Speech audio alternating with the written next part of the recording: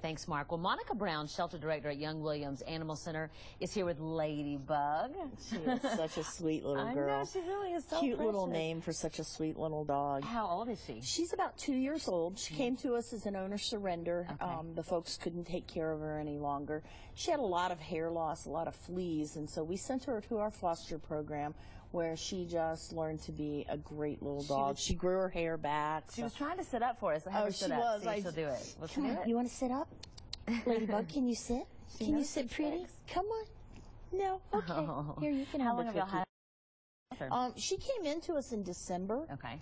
But she's been in our foster program for a little while so that we could get the hair growing back on her.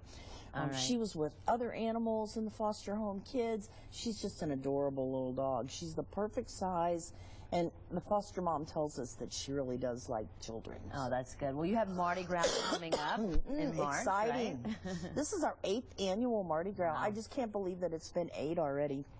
Um, but we are super excited. March 7th is the date. Okay. Everybody mark your calendars. Come on down and enjoy uh, the day on Market Square. Walk in the parade. Lots of good prizes. Great vendors, animal associated vendors. We've got folks coming from all over. Rescue groups are going to come in. So it's a big event. Can people sign up that day, or do they need to go online? We're going to do both. Um, you can come that day, but we also have online sign-ups. All right. And if you call the 215-6599, we'll get you to the right person. All right. Thanks, Monica. And if No you want to problem. adopt Ladybug, just go to the shelter. All right. Coming up for the first time.